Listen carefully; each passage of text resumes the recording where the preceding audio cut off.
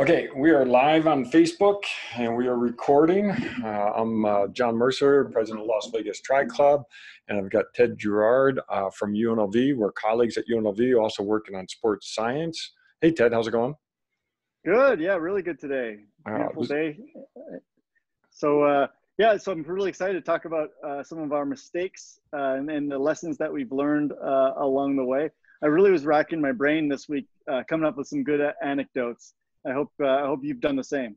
Uh, I didn't have to think that hard because I've made plenty, but I'm not alone because uh, we posted that on Facebook, and the number of responses we got and the other mistakes that other people have made have really uh, sort of inspired me and uh, made me feel okay about the mistakes I've made. Yes, yes. So um, I'll, I'll kick it off here. So the hmm. number one mistake, and it, it is so ironic because, it, and it's a big, big thing, and and and I know we we always, always, always, always talk about it in triathlon is never do something new on race day. Yeah. Right. Mm-hmm. And we all make this mistake all the time. I can't tell you, like I was, I was sitting, sitting here writing down my mistakes, and so many of them were that. Even though I know that's the cardinal sin. Yeah but you always you know there's always this something little something you know something that you, oh I oh I could do that. Oh that oh, how good would that be? And I want to say like 80% of my mistakes were something that I did on race day that I hadn't done before. Yeah. So uh, I don't know about you John but um you know how many times have you heard the you know don't ever try anything new on race day or have you said it? Every race. Every, every race, race. yeah so do you have one in? Every, do you have one thing in particular that you tried on uh, race day that didn't work out? Yeah, I'll give you. I'll give you the, the one that was the last one that just happened to me the last season. So I um, I had this tra- uh, a top. So it was a, a Team Canada top, and um, it, it was one of those that zipped in the back. So for like ITU racing, they make yep. you have a back zipper only and I didn't have um, I, I I raced in it before, and I I had trouble getting the zipper down. So um, I just didn't have the shoulder flexibility to quite reach it. Mm-hmm. So you know, I was like, you know, I need a little system here. So I was like, okay, I'll tie a shoelace to it. Okay, no problem. So I was in Canada and I was with my parents. And my dad's like, oh, I got something even better than that he gave me like this little like metal ring for a keychain, like little tiny, tiny one. Hooked that on, and I'm like, oh, this is perfect. All right. I practiced with it a couple times. So um, I I I go into the race. I race. I get out of the swim, and I literally cannot get my wetsuit undone. I'm, I'm, I'm like I'm yanking, trying. I, I, but this is like on my tri suit, not my wetsuit. Yeah. So somehow that little ring had opened up and it caught on my zipper of my wetsuit. Oh. And so as I'm running into T to T1, I'm trying to get my wetsuit and I'm yanking on this thing and I and I literally cannot get it. So I had to stop. I found a volunteer and I'm like, "Can you help me get this thing uh, undone?" And they're like monkeying around with it. It probably took like 30 seconds. Oh all because you know and, and it wasn't even that hot that i needed to actually unzip it while i was running you know because i was in canada yeah. of all places. But it was just like like something so small as this little tiny ring that i mean i i, I don't know how i i don't know how it even got caught into the zipper of my of my wetsuit but it was one of those things. And what you know and, and i look back and i'm like well, what a silly thing to do yeah. It seemed smart at the time. That's the problem with all these mistakes. They seem like they seem smart at the time. Yeah. I think sometimes we I think sometimes we overthink things and then we we decide to do something uh, without any real basis. Uh, and so the one you the story you just told reminded me of uh, what happened to me in Norseman. Uh, and Norseman is a cold race uh, so I knew when you know the water, you know, it's 55 degrees uh, Fahrenheit, and uh, and then you got to get on your bike and i and i was worried about getting too chill coming from the desert you know doing all our training in this hot stuff and then you know trying to bike in 40 degrees fahrenheit after swimming in 55 degrees uh, fahrenheit water. So i actually decided just to wear a swimsuit under my wetsuit and then i would put my uh, tri kit on uh, dry and i thought that was going to be a good thing all right so again, did I practice that? No, I didn't. It was just one of those things where I said, "Oh, this this makes sense." Now I'll be dry, you know, getting on the bike. And so uh, now Norseman is a different race. You're you're racing against other people more so than the clock. So I knew I had a little bit of time. So I wasn't, you know, you're not because you just need to be the top 130 to a certain spot in the race, and then you can you can finish the race. Uh, right. So I get out of the swim, had a great swim, and oh, and the other part is um, there's no volunteers to support you. Uh, you have to bring your own volunteers. So Laura, my wife, was uh, was my my support for the entire race, and and your support person has to follow you the whole time. So uh, she, you know, meets up with me getting out of the swim, and uh, I run over uh, to transition, take off my wetsuit, uh, there's no tent, so I had to put a towel on, take my my swimsuit off. She helps, you know, get the tri gear out. Uh, this is my long sleeve uh, Norseman uh, tri kit. I put it on and struggled to get it on because it was wet. And I'm like, I can't believe how hard this is to get on wet. And but I'd never practiced it, and so now this is the first yep. time I'm trying to put it on. So we're struggling, we're fighting, we're getting it on, got it on, and then all of a sudden I realized oh, it's on backwards because we'd never practiced even trying to put it on. And so she was handing it yep. to me one way. My brain is still, you know, post swim effort.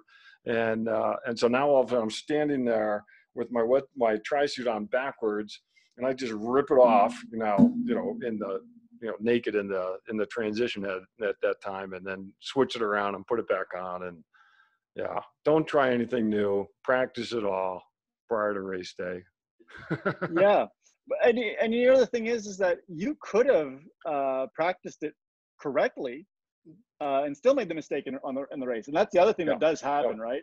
Yeah. Is we do practice and then still we mess it up. Yeah. You know, because the and I think a lot of times um, the mess ups that we have are due to stress, mm-hmm. right? When I was reading through a bunch of the um, the messages that people posted on Facebook, a lot of it was like mistakes people would normally make, right? But under the stress of of race day and um, you know, and, and and one of the things that happens to me, and I think it happens to a lot of people, is I don't sleep well the night before a race. Mm-hmm. And so then you wake up, you're you're you're a little bit tired, you're not you're, you're a little foggy headed, and you're not thinking right at race morning. And so you know, I think a lot of the mistakes come from uh, come from that, the stress and the and the lack of sleep. So um, I'll give you another uh, mistake. So uh, this was actually a, a, race I did in, in Milwaukee. It was the Nationals, and it's the first time I'd ever traveled to a race. And this is a simple a simple mistake is that we booked a hotel and did not look at how close it was to the train tracks. Mm. And to a very active train track. Uh oh. So the first, you know, two nights before the race, we're you know we check in. It's like pretty late at night. We check in, and almost every hour on the hour, this train goes by and the loudest possible horn. You know, like the My Cousin Vinny uh, yeah. movie, and it's just like unbelievable how loud this thing was, and it, it woke me up every hour. And this was two nights before the race. The smart me should have said, you know what, I cannot stay here the race night. I need to find something else somewhere else wherever. I, I, I'll, I'd better off sleeping in my car in, a, in an abandoned parking yeah. lot of a, of a Walmart than than this. But no, no, you kind of forget about it during the day, and you're taking care of business. And then the night before the race, same thing, just hmm. every hour. And you know, the worst, obviously, couple nights sleep ever. Yeah. And you know, subsequently did not race very well and did not feel very well but but a, but a mistake on my part for not first of all now i always look oh. like i look how close is the hotel or the or the condo or wherever to a um to a train track or to the highway mm-hmm. right? And I uh, one is interesting is is Oceanside because a lot of the places in Oceanside are right on that train track. Yeah, that's right. And and so now whenever I book for a place in Oceanside, I always look like where is it? Where even potentially where are the bedrooms on the side of the house? yeah. where that train track is because that's a loud train. Yeah. And it goes and it goes by quite often. So that's a that's another one for me, and that's more travel related but still uh, a mistake that I've that, that, that I've tried to not make again. Well, that's great, and and you know the other part of a hotel is booking on the first floor rather than second, third, fourth, especially if it's the fourth floor without an elevator, and you're post race trying to get your bike up to your room. So, I I I think that's great advice. Is um, have that plan. Uh, really, really scope out where you're going to stay. But I like your your general point that it's it is a lot of mistakes we're making is stress related and and that's why you need to practice these things ahead of time so that you reduce the amount of thinking that you need to do during a race and i even yeah. you know get to a point where you know pre-race you got to have that checklist you know Oh yeah. Uh, you and I, we've been racing a while, you know, for a long time. I've been racing since mid '80s, and yet I still make mistakes in terms of what to bring. And I posted, you know, a couple of things I forgot to different races, and it's partly because of the stress and and just not having that checklist. So, I remember even with with our Las Vegas Tri Club, uh, we had a duathlon out at uh, Cottonwood area, and uh, drive out there, got my mountain bike all set up, and then I realized that I uh, didn't have my run shoes. I just had my sandals. And so I'm like, well, now what do I do? I, I one, I don't have bike shoes. I don't have run shoes. You know, all I got is these sandals, sort of like a, not really a Birkenstock, but that type of sandal. So I'm like, okay, well, we only got about 45 minutes before the start. I could drive home. Nope, I'm not going to make it. So I ended up just finding a roll of duct tape and uh, duct taping my sandals onto my feet. And I'm like, okay, well, let's see how this works out. And I, the good thing was it was uh, it was dirt and it was mountain biking, so I had flat bottom pedals anyhow. So that was yep. good. Uh, now I have to admit that someone did come along and said, "Hey, I got an extra pair of shoes," but by then I was already committed, and I'm like, now I'm wondering if I can do it. You know, can I run yep. in my? Yeah, can I actually do this? so now now it became more of a challenge at that point. But I think that's the the other message is, you know, when you when you have a mistake, you got to adapt, and you got to yeah. figure out what to do next. And so I just taped my my uh, sandals onto my foot, and I don't remember if I was second or third, whatever it was, but uh, still had a great race, had a great run, and all of a sudden I realized like, oh well, maybe uh, maybe the running shoes aren't as important, and maybe you have more flexibility uh, in terms of what you can run. And of course, from the research that we do, we know that that's the case. Yep.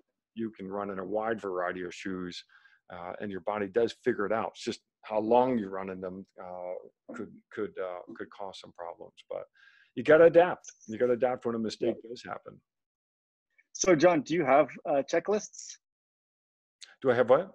Oh, checklists. Um, Okay, so uh, when I do an Ironman race, I do make a checklist, and I have a spreadsheet in Excel, and uh, I do modify it and I do update it, but there are times I ignore it.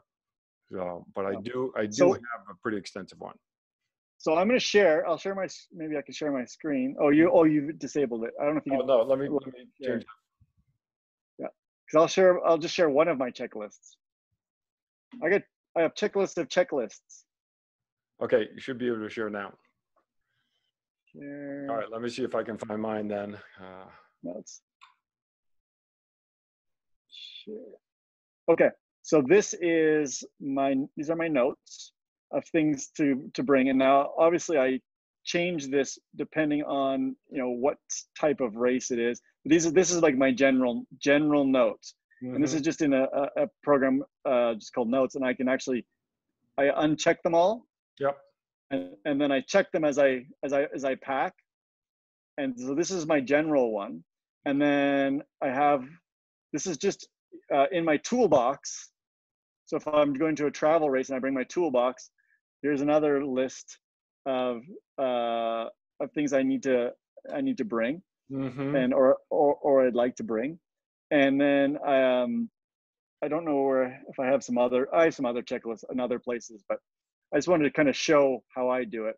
And then if I'm going to an international race, um, then I also have checklists. Okay, this is my bike bag. This is my yeah. run bag. This is my swim bag, and I have a list of those too. So you know, because most of the time, if you forget something small domestically, it's not such a big deal. You can always buy something. Mm-hmm. But um, yeah, I think having checklists is good, uh, not just for your performance, but I think for your stress level. Yeah. Like when, when you when you know the night before you travel, even I get kind of stressed out. I think most people do as well.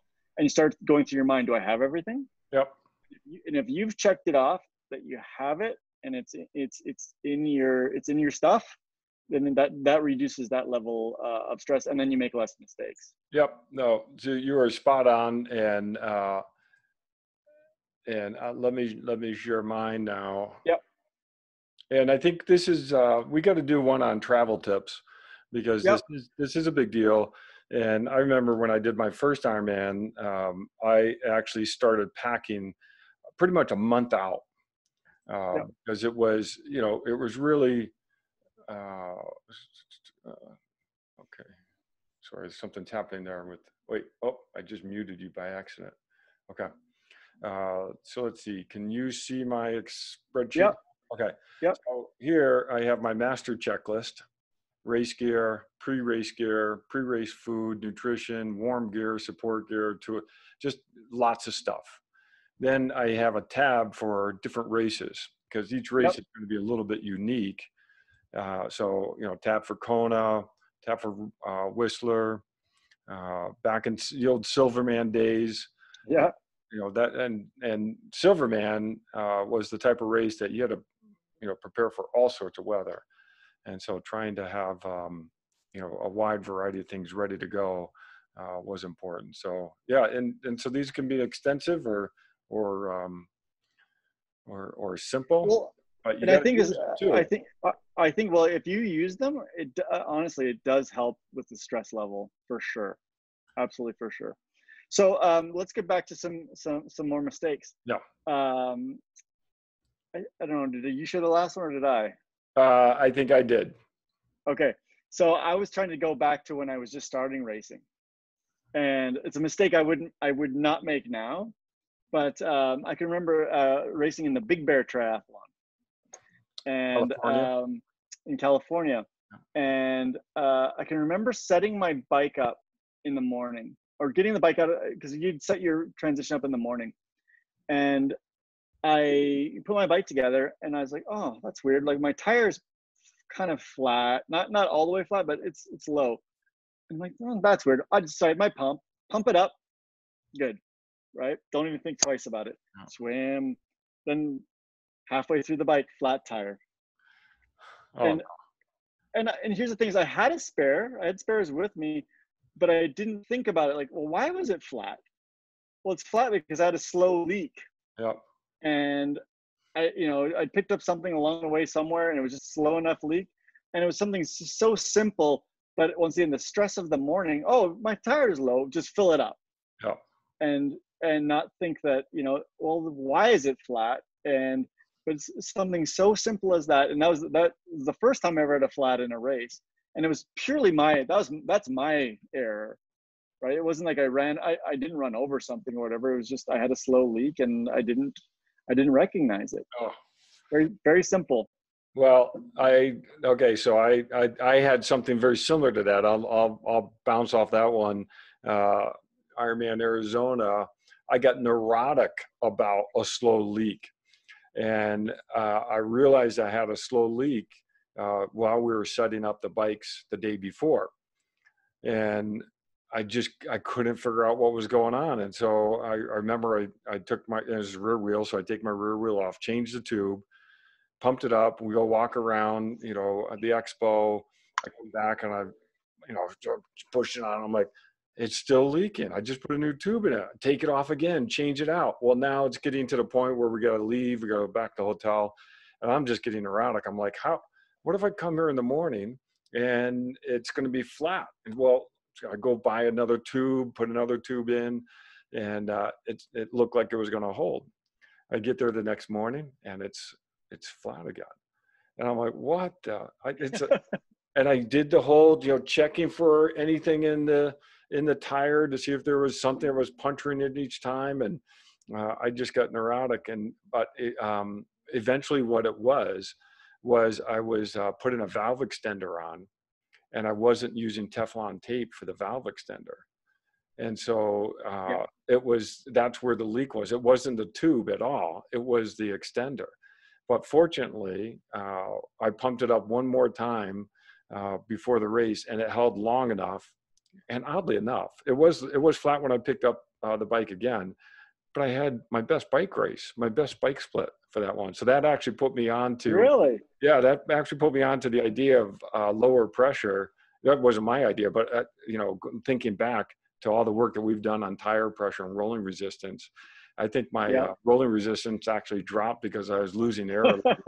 so it actually your mistake helped you, and that's the funny thing, so. right? Sometimes sometimes the mistakes help us. Yeah, but now I now I always use Teflon, and uh, and and uh, yeah, you gotta gotta just have that good gear set up ahead of time.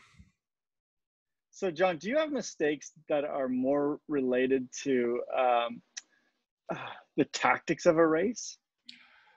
Uh, yes. Um, you know, I did write this down in my notes. Is there's probably plenty of times where I misgauged what effort to do at a particular part of the race, either yeah. overdoing it, overcooking, uh, not so much undercooking, but maybe backing off too soon, and uh, and then losing uh, losing touch with uh, with whoever I was competing against. So, yeah, I think um, I think there's lots of uh, lots of rooms, and I've I've made mistakes in terms of getting lost on a race because I'm trying to focus so much on effort and intensity that if there's a, a turn or uh, a funny spot uh, in the race that it, that if you don't know the course well enough, it's easy to go the wrong way. That that actually happened to me in Greenwich, Connecticut, back in the '90s, '90s or '80s.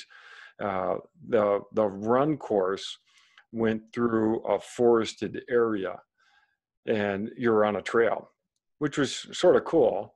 But you're on a trail, dodging you know branches and what have you, and and I was fighting for the top spot. And uh, all of a sudden i the trail turned one way and i ended up going another way. And uh, burst through this bush and i end up on a paved road and i'm standing there and i'm like i shouldn't be here. And then all of a sudden i see the, all these other runners coming towards me and i'm like where did they come from how do i get back on the trail but my brain had already it, it just shut off. I had no idea where I was, and so uh, ended up just DNFing that race. But uh, and I wasn't the only one. There was lots of people got lost in the woods, but uh, but yeah, that does happen where uh, you know you're focused so hard on intensity or the moment in the race that you can miss a turn. Uh, which goes speaks to that course recon that we talked about, knowing the course. The more you know it, probably the less less that's going to happen. How about you? Well, I, I want to ask you a question. How yeah. do you decide your intensity on any any given moment?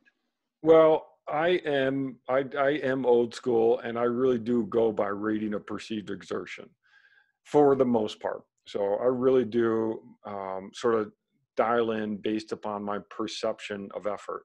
Now that being said, if I'm doing a sprint race, I know I can look down at my heart rate. My heart rate on the run, especially, needs to be up in the mid to high 140s. And if it's not up there, then I know I can go a little bit harder. If I'm doing an Ironman race, I know I'm down around 120. So I can check that. So that does help in terms of gauging intensity. But it is, uh, for me, I do a lot of, of perception of effort. But you've got to expose yourself to those efforts. So you got to know. I mean, that's what I often think training is about is learning how to perceive what effort you should be going at.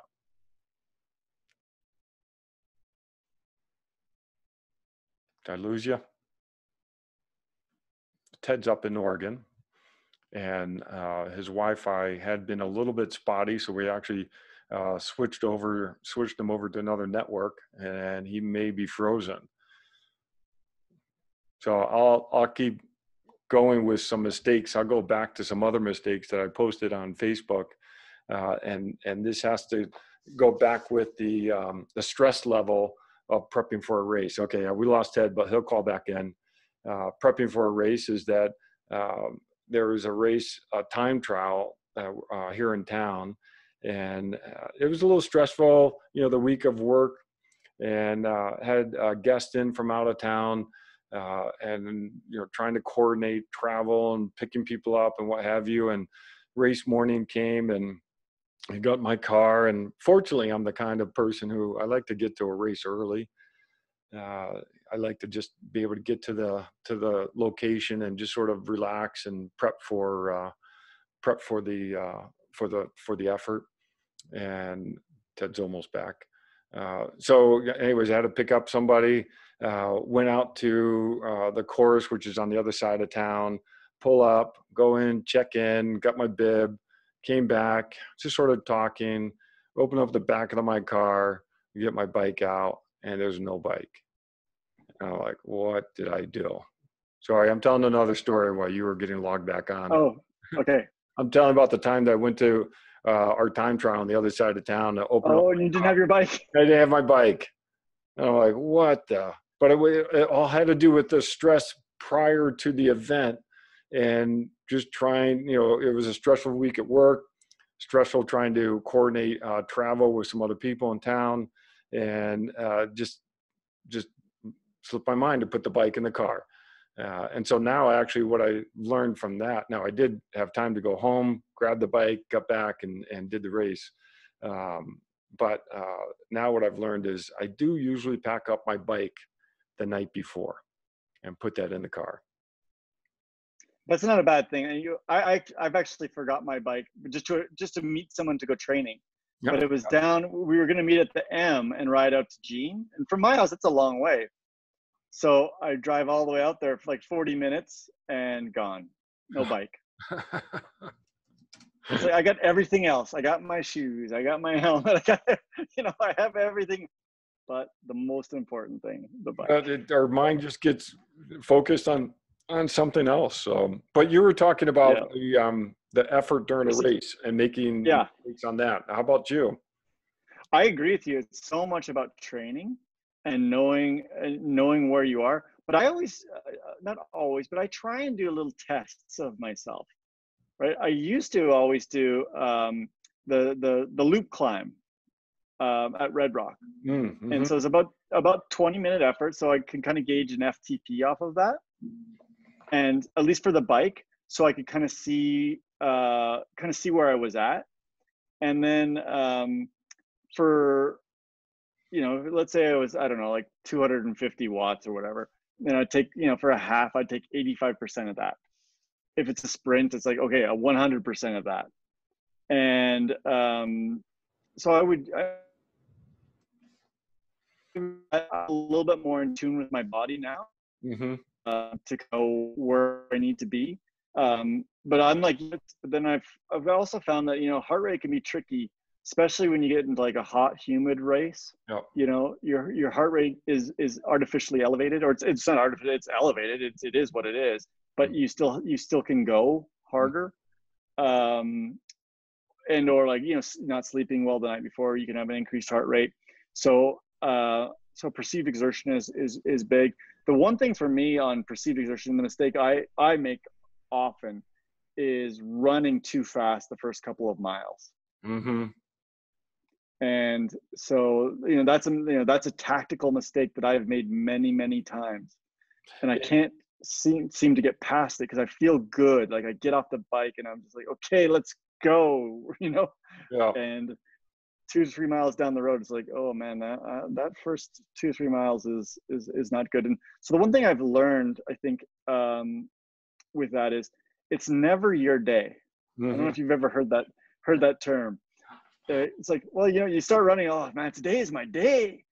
You know, I, I can run like 620 mile, uh, uh, you know, off the bike and a half because I'm doing it like the first two miles I'm 620 and no, it's not your day. You, you, you you cannot do that. Even though you feel good for the first couple miles, you can't because you have not trained like that. Oh. And so I, I, I have this new saying when I race. It's not it's not your day, and yeah. it never it's it's never your day. You uh-huh. are what your tra- you are what your training says you are. You're not. You know you you don't have super days. That you are you're you are correct. However, I uh, I I do make that mistake too, but I also allow myself to run the risk to let that magic happen. And uh, and and so sometimes you have to live on the edge, and you you have to run the risk that that and you and you know this. I know you're right on the edge when you're racing. I mean, there's no way that you oh, can yeah.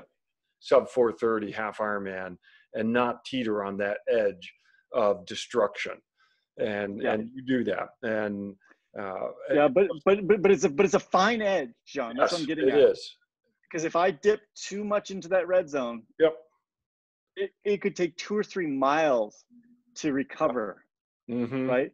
So like um yeah, it's it's it's running a 620 versus a 630. That right, mile. right, right, right. It's it's that fine. Um like if if if I'm well prepared and know exactly where I should be, I, I need to be running that 630, not the 620 and and that's I, I not like oh I should be running a seven.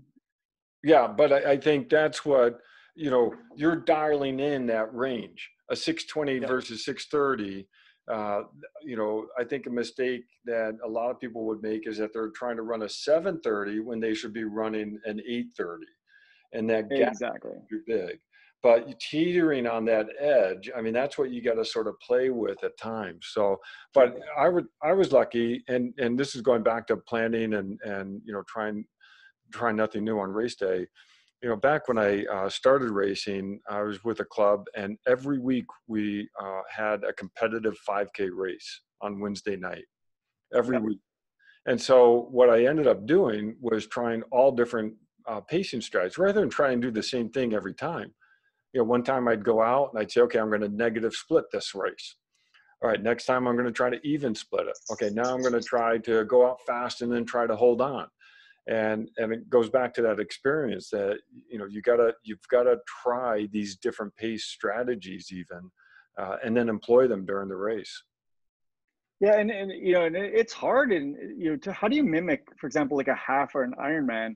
what it's going to be to get off of the bike and, and actually and actually run hard yeah or you know like like i know we do brick sessions right we'll go for a long bike ride and then run a couple miles but a couple miles does not make uh, a half marathon or a or a marathon mm-hmm. right no uh, it, it makes it difficult no, and I'll actually say that you know even though it's been fun to do the the virtual events, it's actually been hard to really, for me, to race them hard uh, it, it's it maybe it's because I'm older. Uh, I don't know, but um, it you know I do enjoy the race environment. Without that, it's um, it's hard to hard to find that pace, and maybe it is because I'm mostly racing on perception versus some metric. But yeah, yeah, I think that that's that's part of it. So you know, other than other than that, um, some other race tactics that I've made mistakes was was not understanding weather mm-hmm. and what what what weather does to you, and in particular, what hot, humid climates will do to you. Because you know, we live obviously it's hot, and, you know, train all summer in the heat. I'm someone that kind of I don't know relishes the the hot days in Vegas and. Um, but uh, you know, I've I've made those, those mistakes before too of of racing in hot, humid climates and not dialing back a little mm-hmm. and paying and paying the price. I don't yeah. know if you've if you've had experiences with that as well. Well, I, uh, I, you know, when I started racing, it was back in New York, and so some our our summers would often be 95 degrees and 90% humidity type of deal. And uh, I remember racing on Coney Island and uh, not uh, dialing it back and uh, learning the lesson of what a heat injury was uh, because it was so hot. Uh, I remember running down the boardwalk and you know finally making it to the finish, and I was I was destroyed for multiple days simply because of the heat injury, throwing up the whole the whole nine yards. So, but yeah, no, I think weather is a big deal. Um, I got I got that maybe this ties into. I got to tell my dad's story. Uh, Please I did, do.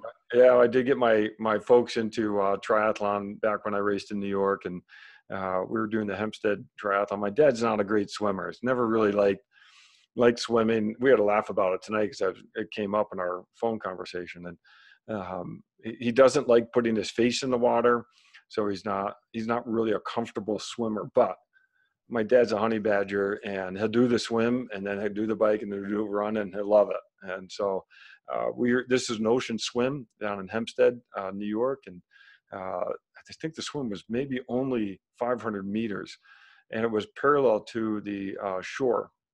And uh, we're wave start, so he was older and got started, and he he was going to be last out. Okay, uh, but what happened was he's he's swimming parallel to the um, to the to the shore, but the lifeguard, because he was the last one, he had an escort, but the lifeguard got between him and the shore. And what he didn't realize, he was just following the lifeguard, but he he didn't realize the lifeguard was following him. And he got stuck in a, a rip tide and he started going dragged out from the shore. And so his 500 meter swim turned into probably a mile maybe even a mile and a half swim. That was, he was so far out from uh, from shore, but uh, he was just following the lifeguard. He just he didn't know what to do, which speaks to you got to know the course. Oh. Yeah. So that's that, that's interesting. You know, um, back before I was I ever did a triathlon, my wife uh, was was doing triathlons, and I can remember watching her at Oceanside, mm-hmm. and uh, and watching people swim at Oceanside and I can still remember someone actually more than one swimming. Oh, lost you again. Oh, there you go. You're back. Oh, okay. So I can, I can, I was watching her swim, and I was watching other people swim. I watched people swim a U-turn because they weren't, you know, they weren't sighting, oh. and that was a good lesson. Even that, you know what? it's better to sight more often yeah. and and swim straight it is to u-turn and, and and get the get the direction uh, right um, I mean, John, you're you're an excellent swimmer and you, you spot very well, but I'm sure you've seen you've seen many people swimming off course. Yep. No, that and and that's that's a huge mistake. Is uh, one way you can improve your swim is to learn to swim straight but not necessarily learn to swim straight, but learn how to sight frequently so that you swim straight. Because there's there's so many times that you think you're swimming straight, but yet you're swimming crooked. And you know, there's always stories of you know bumping into people, or a lot of times you say, "Oh, this person bumped into me," but a, a lot of times it's actually uh, you know, and you know, for I'll use myself, I, am going the wrong way, and all of a sudden I'm running, running into someone. I uh, when I do a local race, there's a, a, a particular athlete I, I like having um, at the race because I drift to my left and he drifts to his right, but we almost swim the same pace. So I always try to get on his right side. and so he's always drifting into me and I'm drifting into him and we stay straight together. So it actually works out pretty good. yeah, I think that's a I think that's a, a common a, a, really common mistake in, in in swimming is is do that. Um, I can remember watching a, a MythBusters episode once, and uh, they this is kind of where I learned it is they blindfolded people, mm. and you had to walk straight across a field, and nobody could do it. No.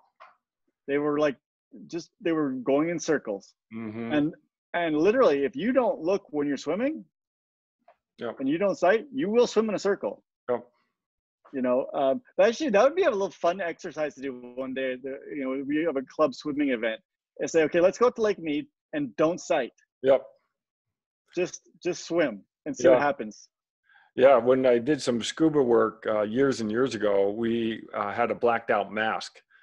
And the whole point of that was to show you that even if you were going to try to swim straight with a blacked out mask you couldn't. And so uh, you know you know brings up the danger of cave diving and what have you. You need to you you need something to sight. Uh, now you can sometimes sight the uh, you know the the the bottom of the lake if you can see it And so there are times yeah. like in, in Lake Mead even where the visibility is really good and I can pick out a rock underwater. I can sight uh, on the surface and I, can, I put my face down the water and I see that rock and I say, okay, now I'm going to swim to that rock. And now I don't have to sight as frequently at that point. But yep. it is. That, that's more the exception than the rule. Yeah, no, that's right. Um, it, you, you, it, it, all has to do with water clarity, but you do really need to practice the sighting. But that's what our our Lake Mead swims are great for: is practice sighting, both off the right hand on on off your left hand. You know, we all have a f- favorite side, but it's good to be able to sight from either stroke. Exactly. So um, the last area I want to talk about was, and, and it's something that we we've talked about before as well, is nutrition mistakes. Mm. so these are and, painful. And, and, and, and, not and not necessarily you know uh, trying things that maybe didn't work, but like utter just disasters. No. So do you have some of those? Oh well, yeah, you know I do. I'll, I'll let you go first because I, okay. I I want to hear yours because mine mine have been uh, mistakes for a variety of reason. But yeah, no. Let, well, well, I think in, in general, I mean, we can categorize a lot of it as you know, don't try something new on race day that that, that you haven't tried. But for for me, it's more. Um, I get into situations, especially on the bike, where I'm biking well, and I forget mm-hmm. to eat. And you know, I'll look down. I'm 20 miles in. I haven't had a sip. I haven't. Um, I haven't eaten anything. I, you know, I've taken in no nutrition. So if you add that in, like, say it's a half, you know, you're you're already four and a half as far as or water in. That mm-hmm. that to me is probably my biggest, you know, one of my biggest areas. Well, I actually have I have a mistake for you about you and uh, you'll remember this, I'm sure, when. I, when I, started telling it. It was uh, uh, something that you know pre-race. I think we were talking about something, or you know, the week before. This was Austria, Zell am See uh, yep. World Championship, seventy point three, and uh, for whatever reason, I think we were got talking about nutrition. You showing me we what what you were using, and you know, it was, it was a bottle of this or that, and uh, you or you told me, and so, anyways, you you went out in the wave before me and uh, and then I, I, I you know followed you and so you were ahead of me on um, on the bike segment. And if you remember there was a bridge uh, one part of the bike segment and then you go up the steep hill. And i think that was probably about 10k into the bike. Maybe was that about right? Yep. And so i'm biking along and i crossed that bridge and there's different bottles and then i saw your bottle and I'm, I bike by it and I'm like, ah, I think that's Tedd's. and, it, and it definitely was. Yeah. But, but I learned at that point to always have a backup. Yeah. Ah. So that was my prime. Yeah. But but I all uh, now on a on a on a half or or full, I always make sure I have almost double what I need. Because you know, honestly, the, the, the weight of the calories in, in gels and chews and stuff is so small. Mm-hmm. So I mm-hmm. did I did lose that, and I was like, you know what? I that was my primary thing was yeah. that, but I I, I my my I had a, a bunch of blocks still. Um, but yes, that, that absolutely did happen. Yeah. And the fact that when you we finished that race and you told me you saw it, I'm like, oh man. I, and then, but then the other lesson I learned from that is I still use those bottles for a while. I don't use that system anymore. But how I place them in my uh, in, in, in my kit or in my you know my in my top. Mm-hmm. So instead of putting them this way, I actually shoved them this way, mm. so they mm. wedged, so they wedged in and they never fell out again. Mm-hmm. But it, it, was a little harder to get out. But I was like, okay, but it's more secure, right? Mm. So uh, that was a, that was the lesson learned there. But I'd already learned a lesson of losing nutrition a, in a different way, yeah. and and understanding how important nutrition is. Um, I, I make sure to always have extra. Yeah, no, that's great. And and again, that's a that's a recovery during the race a mistake happens and you knew you had some type of backup so you were fine now yeah. I've, I've had i've dropped nutrition as well And I finally have learned that uh, I need to stop and pick it up uh, because uh, I've made the mistake and I didn't recover and, uh, and, and was just short of whatever I needed. Uh, so I remember in Boulder that happened to me. I lost a bottle and I actually stopped, turned around, went back, got it, and you know sacrifice the time, but I probably save time in the long run. Yeah, yeah and and I, and I think that kind of the take home message of everything we talked about tonight is mm-hmm. is make mis- you're going to make mistakes mm-hmm. but but learn from them and do your very best to learn from other people's mistakes i mean that's why we're doing this yeah. is so hopefully you know if people listen to this if they they can learn from us and then talk to other triathletes right that that that actually might be the biggest mistake people make is not talking to other triathletes mm-hmm. right like after a race talk to people find out, hey, what went well in your race today? You know, and people will always tell you the mistakes they made because mm-hmm. you know people are oftentimes I hate to say it, but they're looking for an excuse, right? But that's a good opportunity to learn from other people's mistakes if you really take it to heart. And I, I think oftentimes we don't chat with other triathletes and uh, you know learn from their mistakes and, and, and learn from the things they did well.